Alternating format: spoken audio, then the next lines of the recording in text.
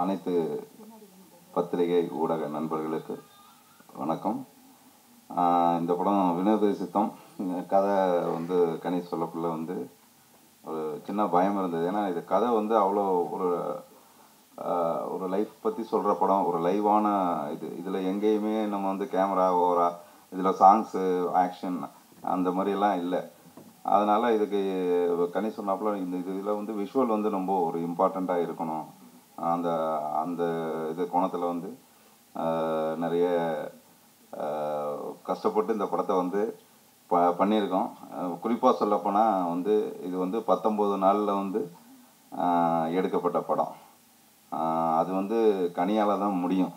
அந்தளவுக்கு எங்களை வந்து ஊக்கப்படுத்தி அவ்வளோ ப- எல்லாத்துக்குமே லொக்கேஷன்லேருந்து எதுவுமே ஒரு காம்ப்ரமைஸ் இல்லாத ஒரு நீட்டான ஒரு ஃபிலிம் என்னுடைய முப்பது நாற்பது படங்களில் இதுவும் வந்து இந்த படம் வந்து ஒரு ஒன் ஆஃப் த பெஸ்ட் ஃபிலிமாக எல்லாரும் சொல்கிறாங்க அதை நீங்கள் வந்து பார்ப்பீங்க அது அதுக்கு. இது வந்து ஒரு family drama and entertain comedy எல்லாமே கலந்த ஒரு நவரச பாத்திரத்தில் தான் வந்து தம்பி ராமாயணா நடிச்சிருக்காரு.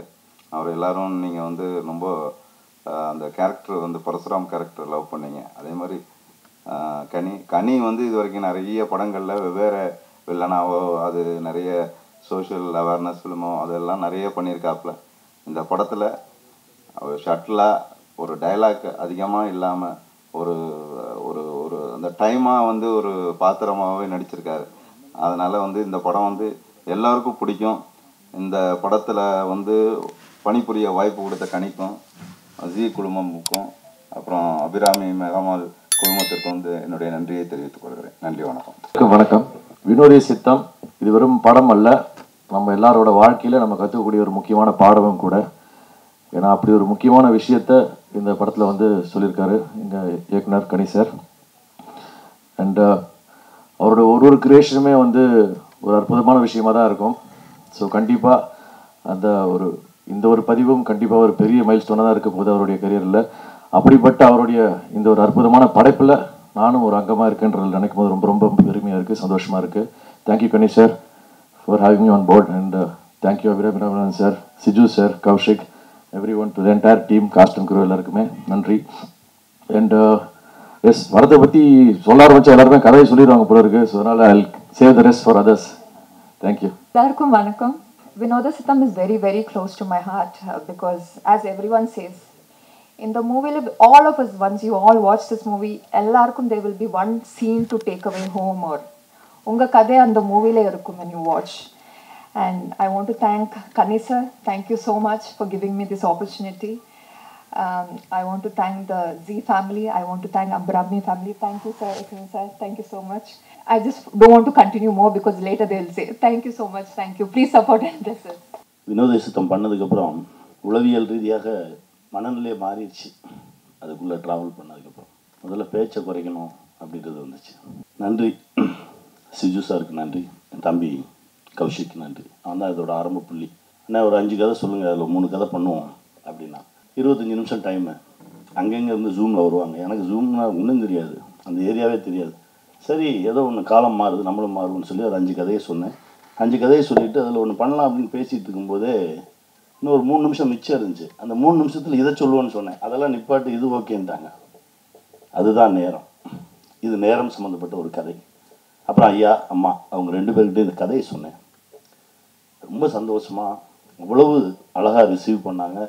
இதை இப்படியே எடுத்துகிட்டு போதும் அப்படின்னு சார் சொன்னாங்க. அப்படியே எடுத்துட்டேன்னு நினைக்கிறேன். படம் பார்த்துட்டு இனிமேல் நீ என்ன பண்ணாலும் சரி நம்ம கம்பெனி நம்ம கம்பெனியில் பண்ணு அப்படின்னு சொன்னாங்க. இதை விட எனக்கு வேறு என்ன வேணும்? டாக்டர் சார் அப்புறம் அஜய் நண்பன் இவங்களுக்கு நன்றி. என் கூட ஒர்க் பண்ண எல்லோருக்கும் என்னுடைய நன்றி. சத்யா. சத்யா வந்து ரொம்ப நாள் முன்னாடி பயணப்பட வேண்டியது மிஸ் ஆயிடுச்சு. பட் இந்த கதைக்காக மொத்தமாக சத்தமே வேறையாக இருக்கணும் அப்படின்னு நான் சத்யாட்ட மொத்தமாக நீங்கள் கேட்கும்போதே உங்களுக்கு சவுண்டிங்கே வேறையாக இருக்கும். இது ஒரு சர்வதேச தரத்துக்கு பண்ணணும் அப்படின்னு சொல்லி பண்ணது. அப்புறம் என் நண்பன் ஏகா நிறைய திட்டுவேன். எல்லாத்தையும் வாங்கிட்டு அந்த பக்கம் தனியாக கூப்பிட்டு போய் சொல்லுவான் தனியாக கூப்பிட்டு திட்டுறா? ஏன்டா?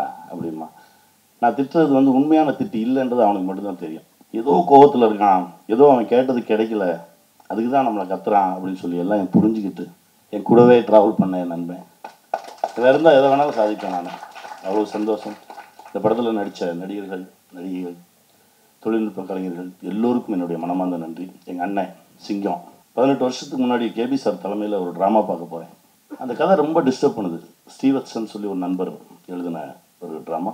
அப்புறம் கிரீன் சொல்லி ஒரு நண்பன் டைரக்ட் பண்ணியிருந்தான். ரொம்ப டிஸ்டர்ப் பண்ணுது. அந்த பதினெட்டு வருஷமாக அதை சுமந்துக்கிட்டே இது யார் பண்ணால் நல்லாயிருக்கும் யார் பண்ணால் ஒரு நடிகராக ஒருத்தர் வந்துடக்கூடாது. அந்த இடத்துல வந்து ஒரு குடும்பத்தில் இருக்கிற ஒருத்தராக இருக்கணும் அப்படின்னு சொல்லி தேடும்போது சாட்டையில் தான் அண்ணனோட பயணம் ஆரம்பித்தது சாட்டை முடித்தோடனே முடிவு பண்ணுது. அண்ணன் நடித்தா நல்லா இருக்கும் அப்படின்னு. எல்லாம் சேர்ந்து வந்தது. பாலுமேந்திரா சார் சொல்லுவார் ஒரு சாதாரண கதையை டைரக்டர் இயக்குவான். ஒரு நல்ல கதை இயக்குனரை இயக்கும் அப்படின்னு. அப்படி எங்கள் எல்லாத்தையும் இயக்கி எங்களை கஷ்டப்படுத்தி எங்களுக்கு உள்ளே இருந்து ஒரு நல்ல விஷயமா வெளிவந்திருக்கு.